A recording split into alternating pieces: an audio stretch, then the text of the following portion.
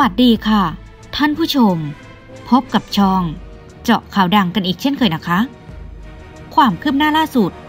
ป้ายานบานตะไทย ได้มีการโพสต์ข้อความลงในกลุ่ม FC ทีมงานทนายประชาชน โดยได้มีการโพสต์ข้อความว่า เรื่องที่บางเพจ เอาไปลงไม่เป็นความจริง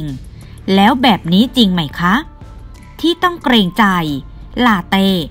เป็นเพราะต้นคิด เรื่องนิทานไอ้ซอ มาจากตรงนี้หรือเปล่า เป็นหัวขบวนแต่งนิทาน ให้ลาเต้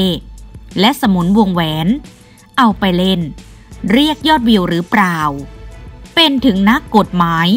เอาข่าวลือแบบนี้ไปเล่าได้อย่างไร ตอบได้ไหม โดยเป็นแชทหลุดการสนทนา ของทนายนอนนา เป็นการแชทกับ FC บอกว่า เห็นไหมคุณคำนวณเก่ง FC ตอบว่าทำให้ได้ใจ FC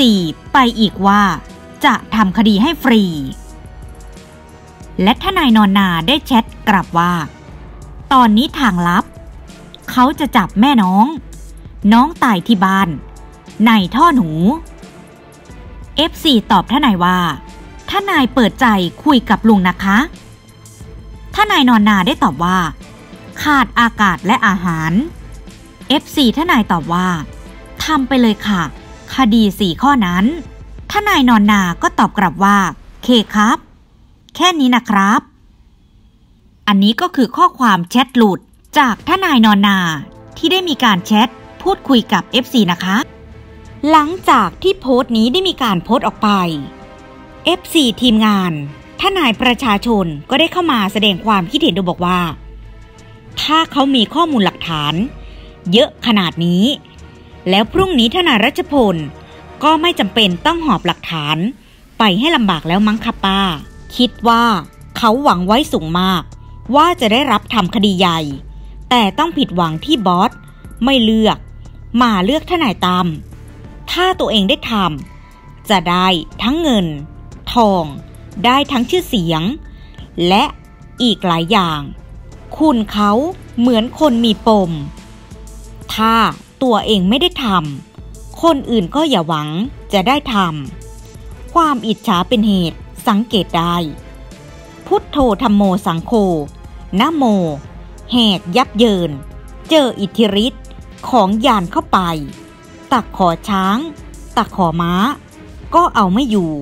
แล้วพี่น้องเอ๋ยทำไมเขาอยู่เฉยๆ กันไม่ชอบคะ ชอบ ให้แหกซะงั้น ฮ่าฮ่าฮ่า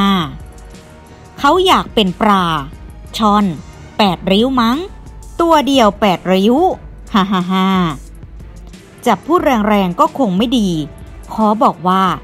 เห็นแก่ตัว คนอ่อนหัดในโซเชียล แต่ความคิดเบื้องหลัง เห็นแต่ประโยชน์ส่วนตัว ตอนเข้ามาใหม่ๆ ไปชื่นชมมุนีออกหน้าออกตา ก็พอดูว่า คนคนนี้ ไม่ใช่คนดีจริง ไปชื่นชมคนที่ชอบด่าคนอื่น ใหม่ๆ ไร้สดจะให้ลาเต มาระวังให้ทุกครั้ง อันตอนไร้สด สัญญาณจะหมุน แปลกคนหวังผลทางการเมือง มาทำตัวแบบนี้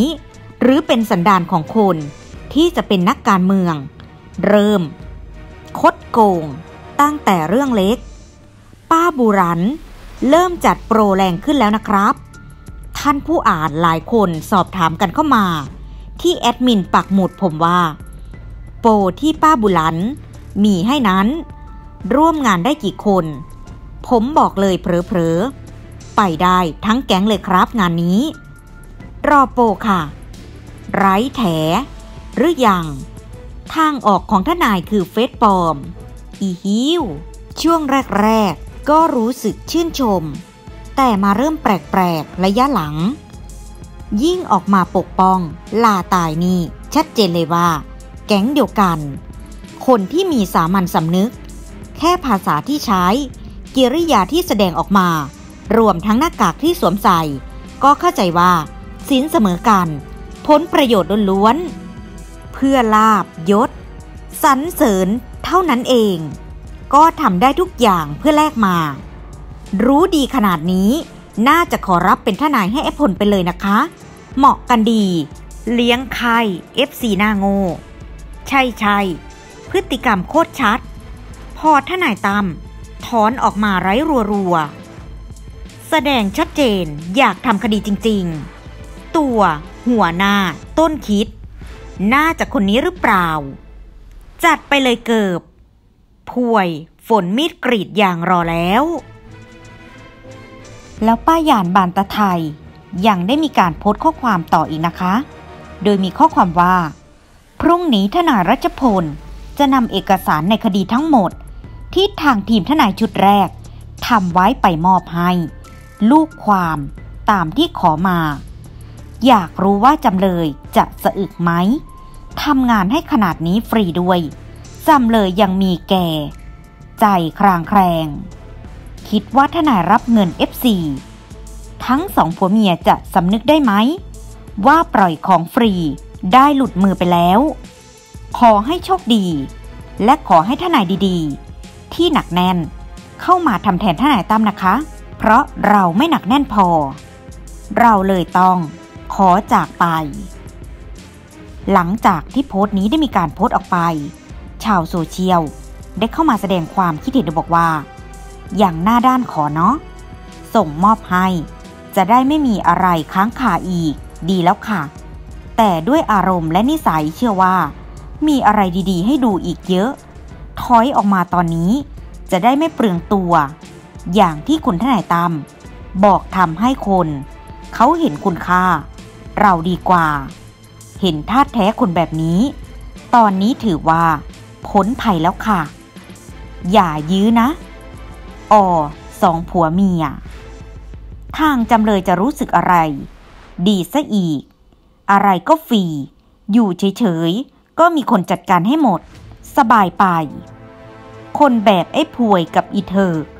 มันไม่สำนึกหรอกค่ะ สันดานมันเนรคุณมานานแล้ว